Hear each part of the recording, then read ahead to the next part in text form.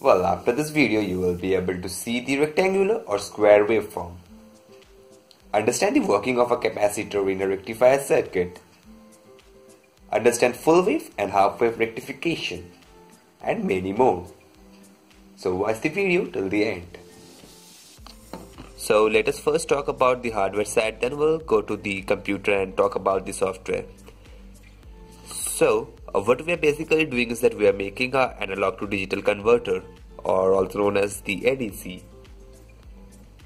So here we'll be using the analog pin in an Arduino along with the 5 volt and the ground to get the waveforms. Any microcontroller or integrated circuit is sensitive to the voltage which we give in and Arduino can withstand a voltage up to 5 volts when we are inputting in any of the pins. While using an Arduino we must keep it in mind that we should not supply any voltage exceeding 5 volts and for higher voltages we must use some voltage dividers.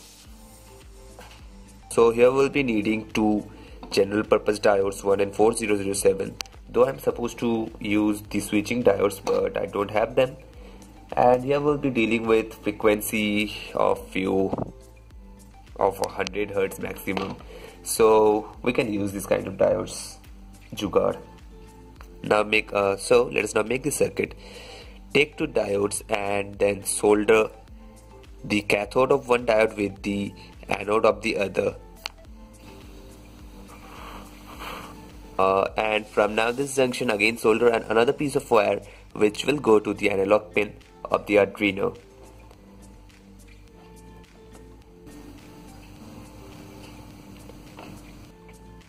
Again from this junction solder a 330 kilo ohm resistor. Uh, this will act as a current limiting resistor as well as this probe of the resistor will act as the positive probe of the oscilloscope. And now if you want you can add alligator clip after the resistor for easy connections.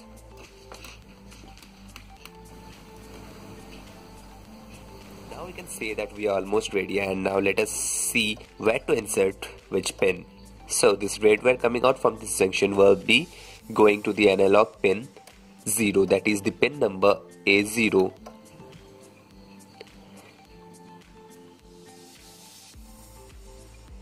insert it there. Now this diodes will be connected in reverse bias with the 5 volt and the ground.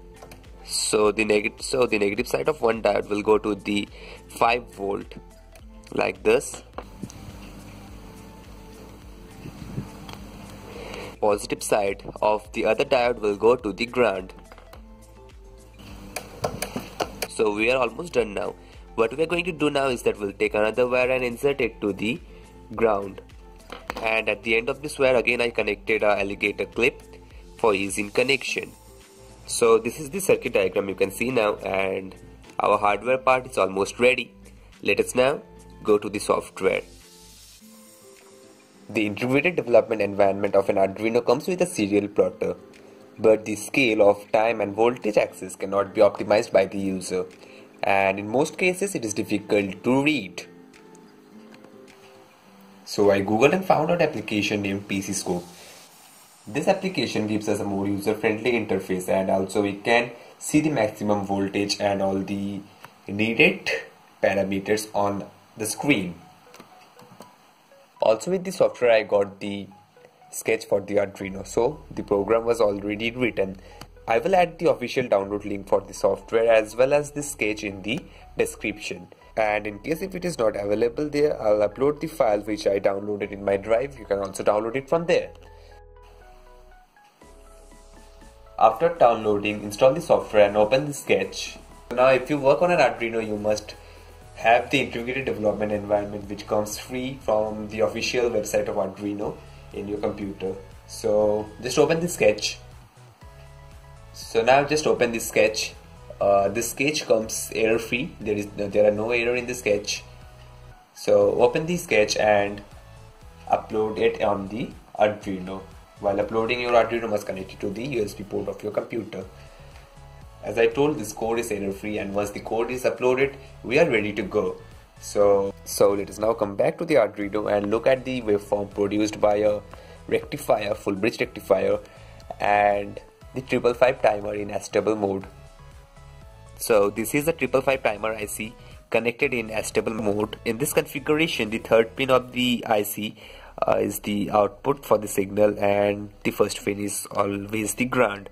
So, so now I'll connect the probe coming out from my Arduino oscilloscope to the pin 3 and the black to the ground. Uh, the oscilloscope is looking something like this. Okay. So now we'll observe the waveform on the computer again. So after opening the application we need to connect it. Just click on connect and it will automatically detect the Arduino and once you detects the Arduino you can see the waveform.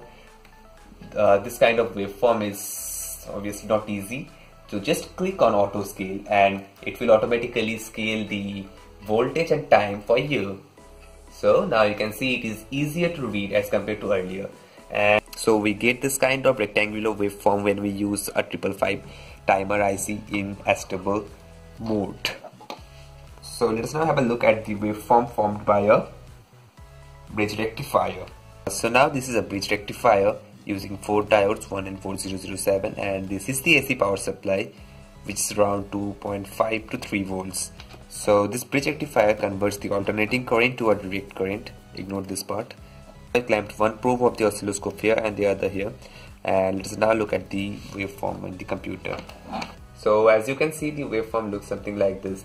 So now if we connect a capacitor as it is supposed to be connected in an eliminator circuit, uh, we'll get the rectified version of this signal. So that's all I can give you for this video. If you like the video please hit the like button and please subscribe to this channel for more such informative videos. Thank you and have a nice day. See you in the next one.